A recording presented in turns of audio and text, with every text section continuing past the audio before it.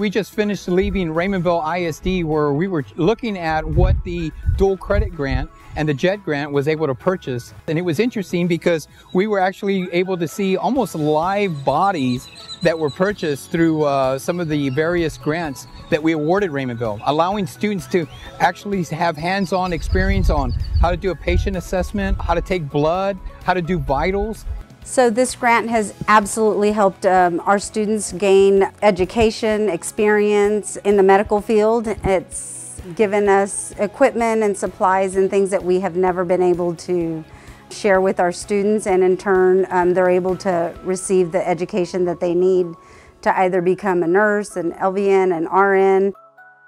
It allowed this ISD to work with the local uh, municipality. And the municipality applied for an opportunity to allow the local residents of a rural community to actually receive vaccines. And so if it hadn't been for the fact that we awarded a dual credit grant for Raymondville, they wouldn't have been in a position to actually apply to be a destination location for vaccines.